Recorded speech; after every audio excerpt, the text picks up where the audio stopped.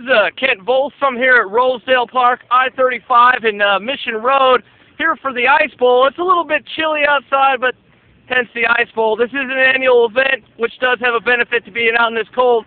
Jack is going to tell us what this event is. Uh, it's for the Bishop Sullivan Center. It's the Ice Bowl. It's the 24th annual in Kansas City, and we're here today to support uh, Harvester's largest food pantry.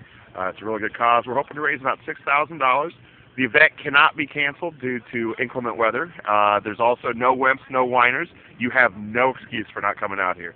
We typically host this on the weekend without football, so you can't complain that, uh, oh, I got to watch the game. Right. No, you Right. got to play disc golf today, baby. This is what's best. That's the main question. Is it frisbee golf or disc golf? It is disc golf. It's all about frisbee golf. You know, for those of you that want to call it that way, that's fine. But uh, you know, a lot of us are passionate about the sport.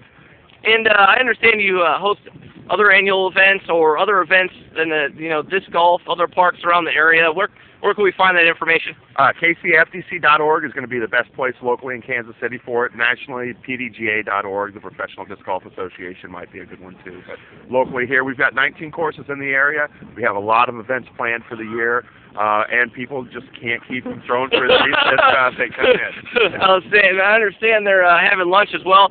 So uh, ticket to this would be lunch and uh, disc and and a mini. You get uh, you get lunch mini. Uh, Boulevard also was kind enough to donate some here. Uh, Dean Machinery brought the power, so you have hot chili going on for us all day, and it's going to keep you active for fifteen dollars. You get uh, a free disc, and, uh, then you're also supporting a good cause.